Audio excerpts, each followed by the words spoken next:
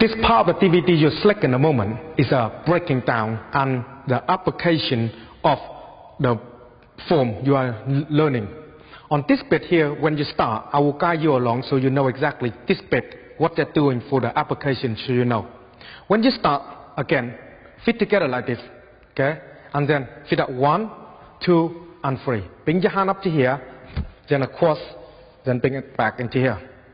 When you bring your hand back into here, make sure you tense leg lock hand nicely into your chest area, not here. Got to be in this position, yeah? Okay? When you're done that, punch right in the center. So the center of me, see that center? So you punch right in the center. When you're done that, make sure your fist turn and then you fit down like that. Finger nice tight together. You exercise your wrist here. So come up, two, three, and four. Then turn your hand, one, two, three, four. Bring your hand back here, then rotate. When you rotate this thing like this, yeah, that's what you rotate. So you lift your arm lock and your hand rotate like that. Then bring it back. Same on this side. Then down. One, two, three, four. Turn. One, two, three, four. Rotate the hand. Then bring it back. Okay? When you done that, let's go one, two, three. And then palm down.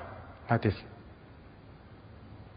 This is the first bit of the form that will relate into the application. When you're doing the movement of the wrist like this, it helps you get your wrist very strong. That's when you block and then you hit palm strike to your opponent. This is how we use it in the combat.